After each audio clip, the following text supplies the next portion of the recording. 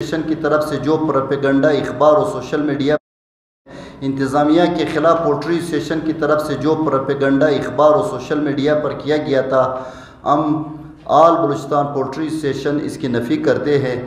ہم سے انتظامیہ کی طرف سے کسی نے کوئی ڈیمانڈ نہیں کیا تھا۔ آج ہمارے مذاکرات انتظامیہ سے ہو گئے۔ اور فارمولہ ریٹ پر بھی اتفاق رائے ہو گیا۔ ہم آل بلوچستان پولٹری اسٹیشن کل سے کوئٹہ شہر میں مرغی کی سپلائی کو یقینی بنائیں گے اور اپنے ہڑتال کو ختم کرنے کا اعلان کرتے ہیں۔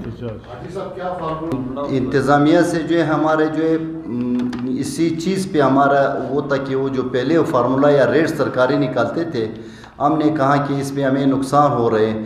پھر آج اس نے معلومات کر کے ہر جگہ سے کیلکولیشن کی ہمارا ٹرانسپورٹ والوں کے ساتھ بھی بات ہو گئی ہے کہ بھائی اتنا گاڑی کا کرایہ، اتنا ویٹ لاس اور یہ سب کچھ کر کے ہم ایک ہی نقطے پر متفق ہو گئے اور ہم آپ کی توسط سے کوئٹہ بلوچستان کے خصوصی طور پر کوئٹہ کے عوام کے سے بھی معذرت خواہ ہیں کہ وہ ہماری وجہ سے ان کو جو ہے تکلیف ہوا، ہم اس کے لیے معذرت خواہ ہیں۔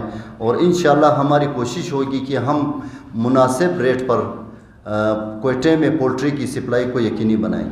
کہ پولٹری کا ریٹ جو ہے وہ ایک نہیں ہوتا ہے، ہر روز نیا ریٹ نکلتا ہے۔ تو پنجاب کا جو ریٹ ہے، اس کے ساتھ ہم جو ہے گاڑی کا کرایہ اور باقی چیزیں جو اخراجات ہے اس پر کر کے ہم صرف ہمارا ڈیلر ہے۔ اس کے لیے پانچ روپیہ پر کے جی اور سپلائر کا آٹھ روپیہ پر کے جی دکاندار کے لیے دس روپیہ پر کے جی کے حساب سے ہمارا فارمولہ طے ہو گیا۔ ہمارے اسٹیشن کی طرف سے یہ بالکل نہیں ہوا ہے۔ ویڈیو بیان وہ شاید کسی نے کیا ہوئے گا اسی جو ہے اسی بنا پہ جو ہے ہم نے ابھی اسی جگہ سے کہا کہ اس کی ہم پر مزور مذمت کرتے ہیں۔ ہمارے ڈی سی صاحب کے خلاف ایسا کوئی بھی نہ ہمارا بیان ہے۔ اگر کسی اخبار نے کیا ہے یہ تو ان سے آپ پتہ کریں۔